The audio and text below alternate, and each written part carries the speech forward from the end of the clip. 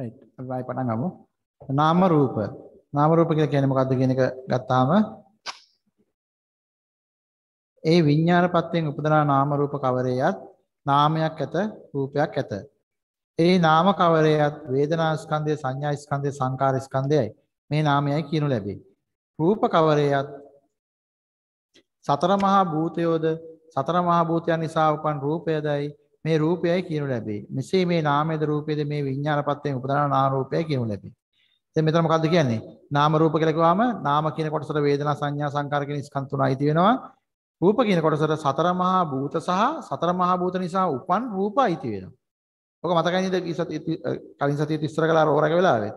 හතර මහා භූත සහ හතර මහා භූත නිසා උපන් රූප. ඒ කියන්නේ දැන් මේ මේකේ මොනවද තියෙන්නේ? හතර මහා භූත තියෙන්නේ. ආපෝ තේජෝ වායෝ පඨවි. නේ? එතකොට මේකේ මේකට අපි මොකද්ද කියන්නේ? ඒක මොකද්ද? හතර මහා භූත සහ හතර මහා භූත නිසා උපන් රූපයක් මේක.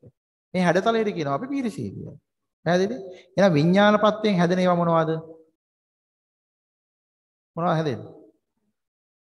හතර මහා භූත සහ හතර මහා භූත රූප නිසා උපන් රූප. ඒ කියන්නේ මාර වැඩක් එතනනේ. මොකද එතන තියෙන ප්‍රශ්නේ? දැන් මේ අපි කතා කරන්නේ කොහේ එකද? අපි කතා කරන්නේ කොහේ එකද? හිත ඇතුලේ වෙන වැඩ වේලා. අවිද්‍යාව හැදෙන්නේ කොහෙද? හිත ඇතුලේ. අවිද්‍යාවපත්යෙන් සංඛාර වෙන්නේ කොහෙද? හිත ඇතුලේ. සංඛාරපත්යෙන් විඥාන වෙන්නේ කොහෙද? හිත ඇතුලේ. මෙතන කියන්නේ මොකද්ද? විඥානපත්යෙන් උපදනා නාම රූප කවරේයත් නාමයක් ඇත රූපයක් ඇත නාමයට අයිති වෙනව මොනවද? වේදනා සංඥා සංකාර කියන ස්කන්ධ තුන. හැබැයි රූප වෙනකොට මොකද්ද වෙන්නේ? එළියට යමක් ගිහිල්ලාද නැද්ද? මට මතකද ඕරේ කරා පෙන්නවා. අපි සිතුවිල්ලක් ගන්නකොට මොනවා හරි එළියට යනවද නැද්ද? ආ වර්ණ වශයෙන් ගියා නේද? වර්ණ වශයෙන් යන මොනවා හරි පදාර්ථයක් ගිහිලා තියෙනවද නැද්ද? සිතුවිල්ල වෙනස් වුණාට වර්ණ වෙනස් වුණාද නැද්ද? ආ එහෙනම් මේ කියන්නේ මොකද්ද? නාම රූප. රූප කියලා කියනවා නාම රූප කියන වචනේ ආපහු පෙන්නලා තියෙනවා නම්මිතාවයට අනුව රුප්පණය කරනවා කියලා. රූප කියලා පෙන්නලා දෙනවා රුප්පණය කියලා. රූ ඔප්නං වන්නේ රූපයි. යම්කිසි රූපයක් ඔප්නංවනවා. හැබැයි ඒකෙත් තියෙන හතර මහා භූතම තමයි. දැන් බෝලේ බෝලේ හැටියට තියෙන පීරිසියේ පීරිසිය හැටියට තියෙන හතර මහා භූතම තමයි. හැබැයි බෝලේ බෝලේ හැටියට තියෙන යම්කිසි නම්්‍යතාවයට අනුව රුප්පණය වෙන්න ඕනේ. තේරෙනවද? ඒකටත් නාම රූප කියලා කියනවා. ඉතින් මේවා ටික කෙටියෙන් තෝරා ටික ටික තෝරාගන්න ඉස්සරහට යනකොට ටික ටික තව සාකච්ඡා වෙනකොට තේරෙයි.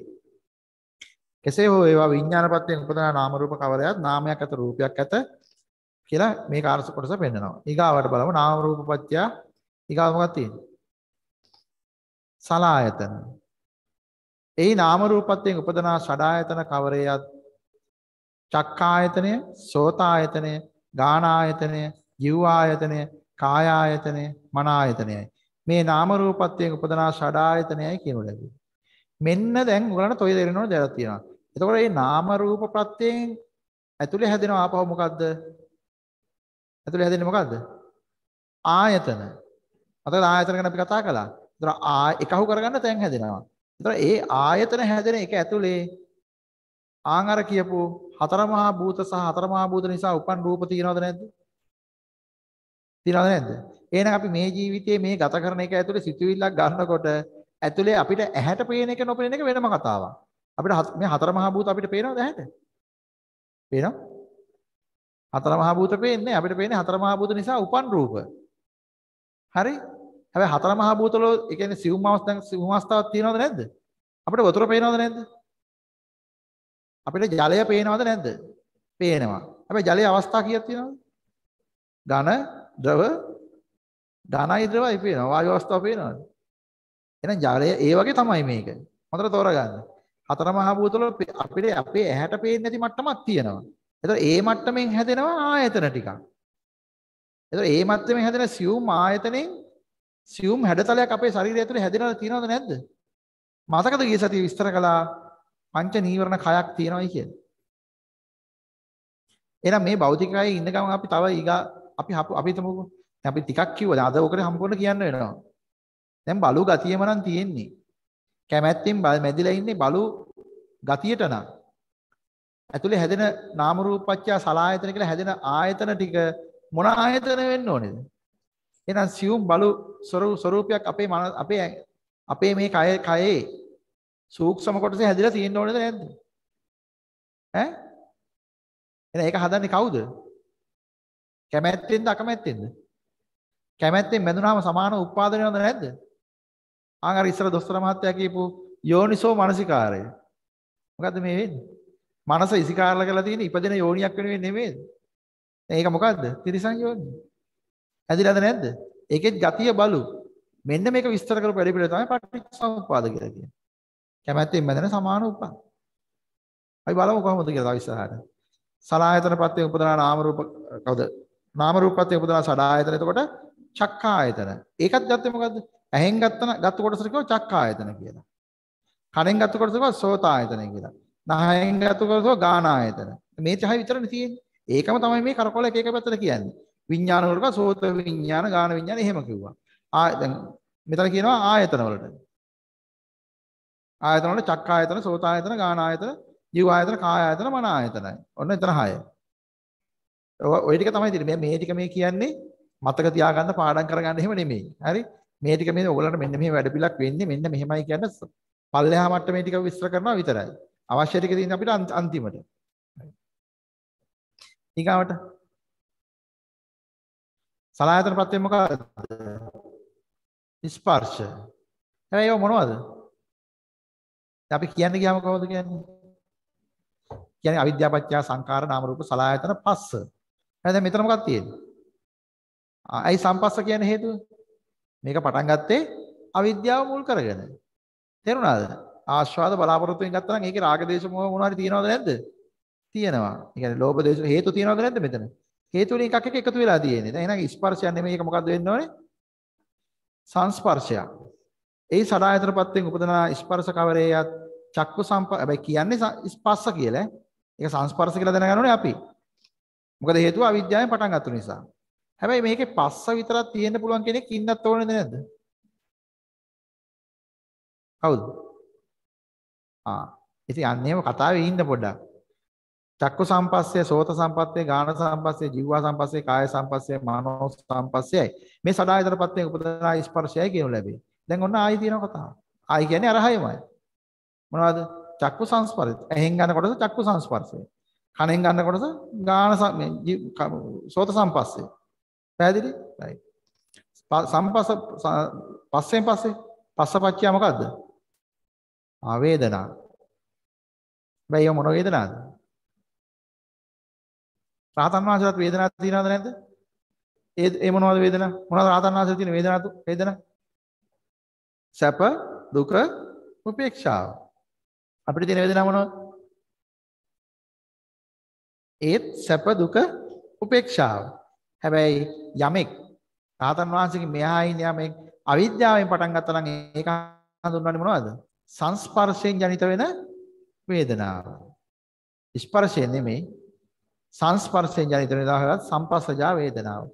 ඇහැ රූපය චක්කු සංපස්සේ සංකු සංපස්සා වේදනාව කියලා නේද? ඔහොම පේනවා ඇහැ රූපය චක්කු විඥාණය චක්කු සංස්පර්ශ සංස්පර්ශය චක්කු සංස්පර්ශයෙන් හටගන්න වේදනාව.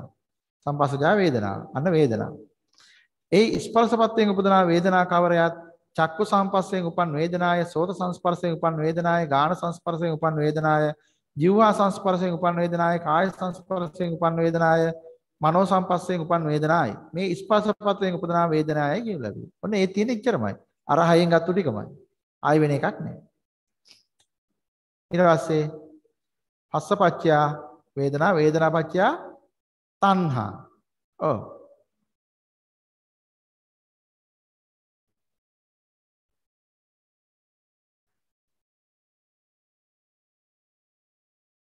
ඇහුන්නේ නැහැ. පමින මං ගන්න. ඔව්.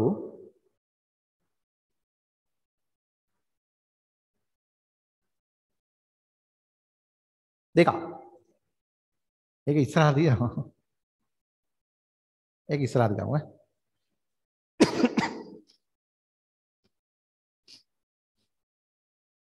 තණ්හා. ඒක මොකද්ද ඒතකොට? අපිට තියෙන තණ්හා කියන වචනේ තේරුම දන්නවනේ මොකද්ද? තැනක හා වෙනවා. අපිට හා වෙන්න තැන් කීයක් තියෙනවද? අපි ගාවේ තියෙන්නේ 6යි. ඔය 6න් තමයි අපිට හා වෙන්න තියෙන්නේ. නේ? මොනවද? ඒ වේදනාපත්යෙන් උපදනා තණ්හා කවරයත් රූප තණ්හාය. ඇයි රූප තණ්හා කිව්වේ කොහෙන් ආවිච්ච එකද? රූප තණ්හා කියන්නේ ඔය කොහෙන් ආවෙච්ච එකද? ඇහෙන් ආවෙච්ච එකද? ඇහෙන් ආවෙන්නේ කොහෙටද? රූපත් එක්ක. එහෙනම් අපි හා වෙච්ච හැබැයි ඇහෙන් ආවෙච්ච නිසා ඇහෙන් ගන්නේ මොනවද? රූප. ඒතර හා වෙන්න තියෙන්නේ මොනවද? රූපේ. එහෙනම් ඒකට කිව්වා රූප තණ්හා. අපි ගාව තියෙන ඇහැ කන්නාසි දිවසාරිනේ. ආ රූප තණ්හා, ශබ්ද තණ්හා, ගන්ධ තණ්හා, රස තණ්හා, ස්පර්ශ තණ්හා, ධර්ම තණ්හායි. මේ වේදනාපත්යෙන් උපදනා තණ්හායයි කියනු ලැබෙන්නේ. පැහැදිලි? right. තා පොඩක් ඉස්සරහට යන්න. උපාදාන. තත්ත කතමන් තණ්හාපච්චය උපාදාන. මෙන්න මෙතන වෙනස් කරලා පෙන්නනවා. මොකද්ද? තණ්හාපච්චය උපාදාන. කාම උපාදාන, ditth උපාදාන, සීලබ්බත උපාදාන, අත්තවාද උපාදානං ඉදං උච්චති තණ්හාපච්චය උපාදානං. ඒ තෘෂ්ණාපත්යෙන් උපදනා උපාදාන කවරයත් කාම උපාදානේ, දෘෂ්ටි උපාදානය, සිල්වත උපාදානය, ආත් මෙතන අත්වාද උපාදාන කියලා තියෙන්නේ ආත්මවාද කියලා තමයි වැරදි. අත්වාද උපාදාන මේ තෘෂ්ණාපත්යෙන් උපදනා උපාදානය කියන ලැබි. මේ කාම උපාදාන කියන එක තේරෙනවා. දෘෂ්ටි උපාදාන කරගන්නවා කියන එක, වෘත උපාදාන කරගන්නවා කියන එක ඊගාවට සාරයි වටිනවා කියලා අරගෙන උපාදාන කරගන්නවා කියන අදහස මේ තියෙන්නේ. අපිට ඉතින් විග්‍රහ කරලා බලන්න ඉතින් තව විස්තර තව දුරටත් අහලා. උපාදාන ප්‍රත්‍යයෙන් හට ගන්නව මොනවද? භව. මෙන්න මෙතන තමයි මේ හිත ඇතුලේ වෙන වැඩපිළිවෙලේ සම්දිස්ථානයක් තමයි මේ තියෙන්නේ. එහි උපාදාන ප්‍රත්‍යයෙන් උපදනා උපාදාන ප්‍රත්‍යයෙන් උපදනා භව කවරේ යත්. භව ද්විප්‍රකාරයෙන් වේ. කර්ම භවයක් ඇත උපප්‍රාති භවයක් ඇත. භවය ද්විප්‍රකාරයෙන් වේ. ඒ කියන්නේ දෙකක් තියෙනවලු භවයේ. හිත ඇතුලේ තමයි හැදෙන්නේ. හැබැයි හැදෙන එකේ කීයක් තියෙනවද? දෙකක් තියෙනවා. කර්ම භවයක් ඇත උපප්‍රාප්ති භවයක් ඇත. දැන් මොකද්ද මේ කියන්නේ? හැං වෙලේම අපි හිතනකොට කර්ම භවය අපි හදනවද නැද්ද? ආ. ඒක දැන් ඒතකොට කර්ම භව හැං වෙලේම අපි හදා හදා ඉන්නේ. දැන් හොඳට මතකද අපි කලින් දවසේ කතා කළා. කර්ම භව හදන්නේ මොකෙන්ද? අபிසංකාර කර කර ඉන්නකොට. පෙනිච්ච ඵලයට හැදෙනවද? කතාව තේරෙනවද? රහතන් වහන්සේ කර්ම රැස් කරනවද? ඇයි රහතන් වහන්සේ කර්ම රැස් කරන්නේ නැත්තේ? උන්වහන්සේ හිතන්නේ නැද්ද? දැන් මෙතන තෝරගන්න ඕනේ තැනක් තියෙනවා. උන්වහන්සේ හිතන්නේ නැද්ද? උන්වහන්සේ හිතනවා. හැබැයි එකක් තියෙනවා. ලෝභ දේශ මොහ අලෝභ ආදේශ අමෝහ කියන හයෙන් හිතන්නේ නැහැ. උන්වහන්සේ විතරාගේ විත දෝෂී විත මොහි කියන තැන පිහිටලා ඉඳලා හිතනවා. එතකොට කර්ම රැස් වෙන්නේ නැහැ. එහෙනම් හේතු හය ඉක්මවා ගිහිල්ලා තියෙන නිසා මේ හේතු හය ඇතුළේ ඉඳන් හිතනවා නම් ඒකයි කිව්වේ මේ හේතු හයෙන් 31 තලයක් පනවනවා. ලෝභ දේශ මොහ අලෝභ දේශ මොහය කියන 31 තලයක් තියෙනවා. රහතන් වහන්සේ ඔක ලෝකෙන් ඈතර වුණා කියලා කිව්වේ ඔන්න ඔකයි මේ හේතු වයෙන් ඈතර වුණා. උන්වහන්සේට දැන් කෙනෙකුට හිතෙන්න පුළුවන් අලෝභයෙන් අදේශයෙන් අමෝහෙන් හිතන්නේ නැහැ කිව්වම පොඩ අවුල්නේ. ඇත්තම කතාව මොකද්ද? අලෝභ ආදේශ අමෝහ කියන තුන උන්වහන්සේ ගාව තියෙනවා. හැබැයි ඒ තියෙන්නේ සසර පැවැත්මට හේතු වෙන එක නෙමෙයි. දැන් වීතරාගී වීතදෝෂී වීතමෝ දැන් අපි හොඳට ගන්න මේ සියලු පෘථජ්ජනයෙක් නම් සියලු කටයුතු කරන්නේ සාරයි වටිනවා කියන දෘෂ්ටිය මත පිළිහිටලා නේද? ඒ වගේම රහතන් වහන්සේ පිළිහිටලා ඉන්නේ විතරාගේ විතදෝසී විතමෝහී උනේ අලෝභය ආදේශය මොහය මත පිළිහිටලා. එතකොට ලෝභ දේශ මොහ කියන කොහොම පහ කරලා අලෝභ ආදේශ මොහ මත පිළිහිටලා ඉඳලා තමයි උන්වහන්සේ විතරාගේ විතදෝසී විතමෝහී කියන තැනට ගියේ. දැන් උන්වහන්සේ අලෝභ ආදේශ මොහ පහේ ගාලා නැහැ. උන්වහන්සේනේ විතරාගේ විතදෝසී විතමෝහී කියන ස්වභාවය. හරි? එතකොට මේකේ කර්ම භව හදනවා හැංගෙලේම. කොහොමද? භව දීපකාරයෙන් මේ. මෙන්න මේ දෙකක් හැදෙන්නේ ඇයි? එතකොට මෙතන දෙකක් හැදෙන්නේ ඇයි? දෙකක් හැදෙන්න හේතුව තමයි එයා අවිද්‍යා ප්‍රත්‍යයෙන් හටගත්තු එකක් මේ කරන්නේ. අபிසංකාර තමයි කරලා තියෙන්නේ. එතකොට එයාට කර්ම භව හැදෙනවා. රහතන් වහන්සේට මෙන්න මේ කර්ම භව හැදෙන්නේ නැහැ. උන්වහන්සේට උපපාති භව තව එකක් අලුත් එකක් හැදෙන්නේ හැදිච්ච එක තියෙනවා. උපපති භවයේ තියෙනවනේ. භවපටලාභේ තාම භව පටලාභ ඉස්සර එක මේ මේ නිරෝධ කරලා තියෙන්නේ. උපපති පටලාභය ආපහු ගන්නෙ නැහැ. පැහැදිලි? ඒතර කර්ම භවයක් ඇත උපපාති භවයක් ඇත කියන එක තේරෙන්න ඕනේ. අපි හැංගලේම හොඳට බලන්න අවිද්‍යාව මුල් කරගෙන හිතනකොට කියනකොට කරනකොට හැංගලේම අපි කර්ම භව හදනවද නැද්ද එතකොට? ආන් අර මම කියවනේ අර මේ බලු ගතියට හිතුවොත් බලු එක හදනවයි කියලා. එහෙනම් බලු ගතියට හිතුවාම දැන් කාර්ය ප්‍රධාන වශයෙන් කර්ම භව හදන්නේ. ඒකේ අපේ ගතියට අනුකූලව තමයි ඒ ගොඩ හදන්නේ. ඔන්න ඕකේ කාලයක් තිස්සේ අවුරුදු 50ක් 100ක් තිස්සේ කළා කියලා හිතමුකෝ. ඔය වැඩේ කරලා හිටන් මරණාසන්න අවස්ථාවකදී ඊගාව උපතට යන්නේ මොකද්ද? ඒකෙන් වැඩිපුර වටිනාකම් දීපු ඒකෙන් උපාදාන කරගත්තු එක තමයි ඊගාවට යන්නේ. පැහැදිලිද? ඒක තමයි ඊගාවට භවපච්චය ජාති කියලා උප්පත් උප්පත්ති භව හැටියට එන්නේ. right. ඒ කර්ම භව කවරේයත් පුඤ්ඤාභි සංකාර අපුඤ්ඤාභි සංකාර ආනිඤ්ඤාභි සංකාරයි මේ කර්ම භවයයි කියනු ලැබෙන්නේ. මෙන්න තියෙනවා අபிසංකාර ටික විස්තර කරලා. රාතන් වහන්සේට අபிසංකාර තියෙනවද? ආ දැන් තේරෙන්න ඕනේ කියපු කතාව. හැම භවගාමී කර්මයම කර්ම භව වෙයි. දැන් භව හැදෙන වැඩ පිළිවෙලක් තියෙනවා නම් ඒක කර්ම භව. කමල් මාත්‍යා එහි උප්පත්ති භව කවරේයත් භව දැන් මම දැන් දැන් ඉන්න කටිය නම් කියලා හැරවන්නේ. එහි උපපාති භව කවරේයත් කාම භවය, රූප භවය, අරූප භවය, සංඥා භවය, අසඤ්ඤ භවය, නේව සංඥා නාසඤ්ඤා භවය, ඒකවෝකාර භවය, චතුවෝකාර භවය, පංචෝකාකාර භවය මේ උපපාති භවයයි කියනු ලැබේ. මේ උපාදානපත්යෙන් උපදනා භවයයි කියනු ලැබේ. මෙන්න මේ උපාදානපත්යෙන් භව තියෙනවා. කර්ම භව හැම මේ පුතඥයෙක් හදනවා. ඒකෙන් උපපාප්ති භව කියලා යමක් උප්පත්ති භව හැටියට යනවා නම් යන්න තියෙන තැන් ටික තමයි මේ තියෙන්නේ. කාම භව, රූප භව, අරූප භව කියලා ප්‍රධාන වශයෙන් පෙන්නනවා. ඒක ඇතුලේ එතනින් එහාට තියෙනවා සංඥා භව, අසඤ්ඤ භව, නේව සංඥා, නාසඤ්ඤා භව. ඉතින් මේවා ඉතින් ගොඩාක් විස්තර සහිතයි. මෙන්න මේවා ටිකක් තියෙන බව දැනට තියාගන්න. හරි. ඊගාවට මොකද්ද වෙන්නේ? ඊගාවට හිත ඇතුලේ හදන වැඩ පිළිල මක් වෙන්න ඕනේද? ආ හිත ඇතුලේ ජරා මරණ ශෝක පරිදේව කියලා එකක් කියනවා. නමුත් අපි මේ කතා කරන්න යන්නේ මොකද්ද? එතනින් පස්සේ මතු එකක් හදගෙන යන වැඩ පිළිවෙල කියන්නේ. right මෙන්න මෙතෙන් ඉඳන් කරපු දේ මම අතරම වෙන මුකුත් විස්තරයක් නෑ ත්‍රිපිටකයේ පෙළ දහමේ තියෙන ටිකක් විස්තර කළා විතරයි. පෙළ දහමේ ටිකක් පෙන්නුවා විතරයි. ඒ ටික බැලුවාම ඒ ටික සම්බන්ධයෙන් තියෙන ප්‍රශ්න තියෙනවා. ඔයාගේ ප්‍රශ්නේ උත්තරේ ඉස්සරහ එනවා ඈ. තියනවද මොනවද ප්‍රශ්න? right නැද්ද? ඔව්.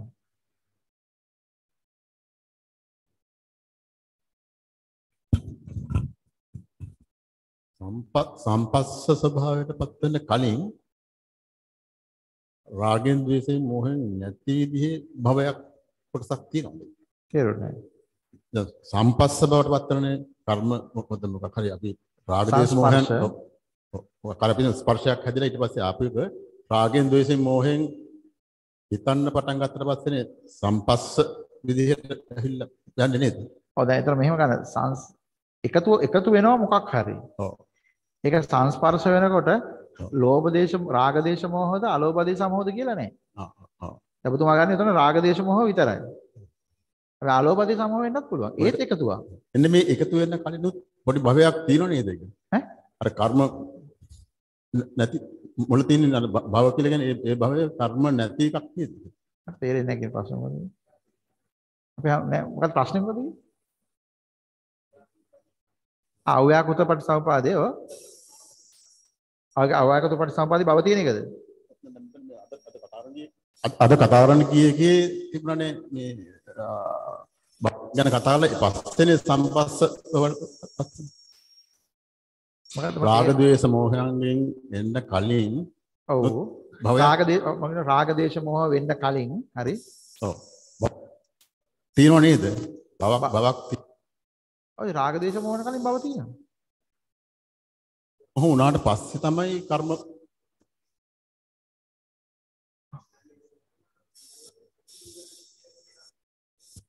ආ ඕකේ ගහන්න බෑ දැන් අපි අද කතා කරන්නේ එකේ දැන් මොනවා හරි අපිටම රූපයක් දැකලා ඊට පස්සේ ඒක අනුව අපි භවයක් හැදෙනවනේ ඔව් විඥාන විඥාන පත්‍ය ඔව්. භවය හැදෙන බව මුල මුලදී පටන් ගන්නෙ මේ රාග දේශ මොහ වලින් ආ, හරි. නෙමෙයි. හරි හරි. එතන චුට්ටි පොඩි කොටසක් තියෙනවා මේ තියෙනවා තියෙනවා තියෙනවා තියෙනවා. ඒකයි මම ඒ ටික තියෙනවා. ඒ ටික විස්තර කරනවා ඉස්සරහට. ඒ කියන්නේ තමයි තේරුනේ දැන් වාසි කියපු හරි. ඒ විපාක අවස්ථාවනේ. ඉතින් ඒ එහෙම අවස්ථාවක් තියෙනවා. අපි ඒක ඉස්සරහට විස්තර කරගමු. ඇත්තටම යමකින් අවස්ථාවක් තියෙනවා. අපි කතා කරේ නමුත් මෙතනදී ප්‍රධාන මාතෘකාව උනේ අවිද්‍යා ප්‍රත්‍යයෙන් හටගත්තු පටිච්චසමුප්පාද චක්‍රයක් අපි දැන් මේ කතා කළේ එහෙම එකක් නේ නේද? උඩ කොටසනේ අපි කතා කළේ අර දැන් අවිද්‍යාපත්‍යයෙන් සංකාර වෙලා මෙසේ හුදු දුක් රසේ හටගන්ම වන්නේය. අන්න ඒ කොටස තමයි අපි මේ කතා කරන් ඉන්නේ. මොකද මේක පටන් ගන්නෙම අවිද්‍යාපත්‍යයෙන් උපදනා සංකාර කවරේද යත්. අයින අවිද්‍යාපත්‍යයෙන් සංකාර හටගත්තා නම් ඒක කවදාරි අවසන් වෙන්නේ අවිද්‍යාව මුල් කරගෙනමයි නේද? වෙන ක්‍රමයකට අවසන් වෙන්න විදිහක් නැහැ නේ. එහෙමනම් ඒක වෙන පටිච්චසමුප්පාද චක්‍රයක් වෙන්න ඕනේ.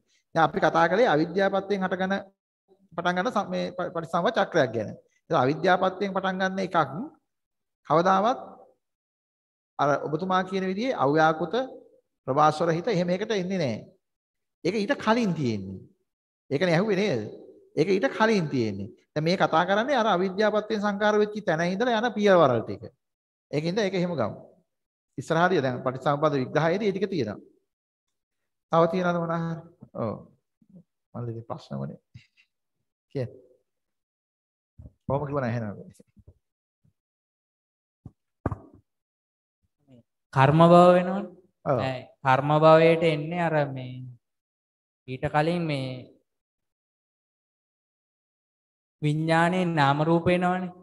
එතන මේ එමිට් වෙන ඕර එකේ ශක්තියෙන් නේද කර්ම භවයෙන් පිහිටන්නේ. ඔව්. එතන කොටසක් එනවා ඒ වෙලේ බලු බවටපත් වෙන්න හැදෙන නාම රූප. එකක් ශරීරයෙන් හැදෙනවා අනිත් එක විශ්වයට යනවා. නෑ නෑ විශ්වයට යන එකම තමයි ඔය කියන්නේ. ඒකම තමයි ඔව්. ශරීරයටත් එන්නේ. එතනක් දෙකක් නෑ. එළියට තමයි. යන එක කුමක් හෝ වේවා ඒකෙන් අර හැඩතලය හදනවා කියන එකයි කියන්නේ. කොටසක් අතන පිහිටනවා. ඕනේ. ඒක ඒක තමයි තියෙන්නේ. අපි හදන්නේ කර්ම භව. ඒක කර්ම භවයේ තියෙන එකක් ප්‍රදාන කරගත්ත එකක් තමයි උප්පත්ති භව වෙන්නේ. ඒක අපි වැඩි වටිනාකම් දීප එකක් තමයි උපතක් හැටියට එන්නේ. ඔව්. තේරුණානේ? එතකොට අපි මෙතන මේ දැන් හිත ඇතුලේ එකකුයි තව කර්ම භවය කියලා තව කොහේ හරි තැනකකුයි එහෙම දෙකක් නෑ. ওই දෙක එකයි.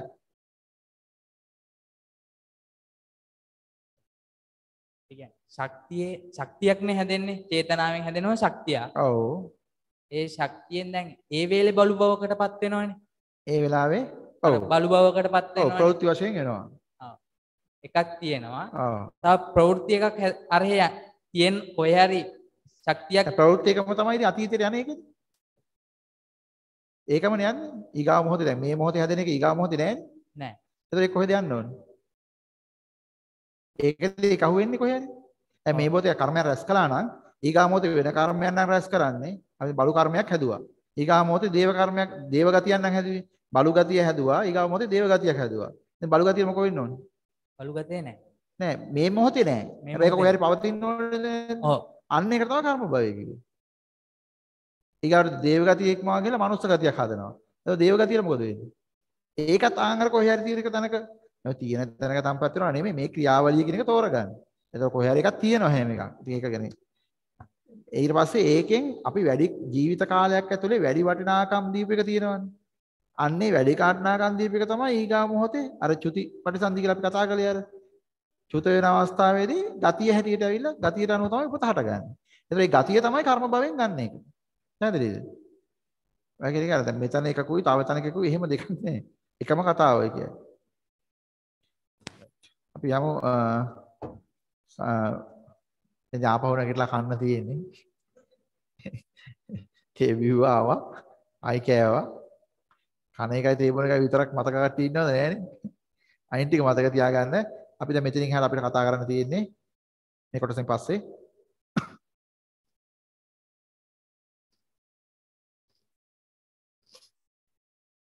ඇත්තටම අර අර මේ මහත්තයා කියපු මේ අර මට තේරු ඇහිච්ච ඇති ප්‍රශ්නයක් විතරයි තියෙන්නේ.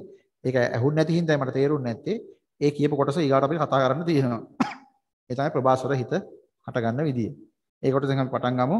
අ, කෑමෙන් පස්සේ අ, කෑම කාලා 1යි වෙලාව 1යි 5යි දෙකට වාඩි වෙන්න. 1යි 5යි නේද වෙලා? 12යි 5යිද නෑ? මේකේ තියෙන්නේ 12යි 5යි එකයි. හරි සියලු දෙනාට තෙරුවන් සරණයි. හරි. පොඩි ඔරලෝසුවේ තියෙන එක තමයි. ඔව්. ආ පොඩක් ඉන්න. මේ මේ දැන් අර දැන් ඔය දැන් ඔය කර්ම භව හැදෙන එක තියෙනවනේ. අර සිතුවිල්ලක් ගන්නකොට එළියට යනවා කියන කතාව තියෙනවනේ. ඔක අපි බැලුවේ මොකෙන්ද? මොන මැෂින් එකෙන්ද? පොර මැෂින් එකෙන්ද? ඇත්තට දැන් එකපාරට කට්ටිය පොර කන්න එපා හොඳේ. කෑම කන්න කෑම කන ගමන් ඇත්තට පොර මැෂින් එකක් තියෙනවා දැන් ඔන්න මේ අර මේ මේ කොම්ප්‍රෙසර් රූම් එකේ තියෙනවා. කැමති කට්ටිය ගිහලා ඉතින් චෙක් කරගන්න. හරි අර අර අපේ කවුද මට නම මතක නෑ මල්ලිගේ. මොකද්ද? කොහොය? කවුද ඔර මැෂින් එකේ නම මල්ලේ? ඇතුලේද? එයා ඇතුලේ ඇත්තේ. එයා මේ බොහොම තාවකාලික ලංකාවට එළින එක. එයා එයාට මේක මේ බණ ටික අහලා එයාට එක වෙලාවක මේක අරම්ම බලන්න ඕන හිතලා මම හිතන්නේ ලක්ෂ 10ක් විතර කළා. ඒක අරගෙන අන්න දැන් ඒක තියෙනවා මේ කාමරේ තියෙනවා කැමති කෙනෙකුට ගිහිල්ලා නිල්ද කහතරතුද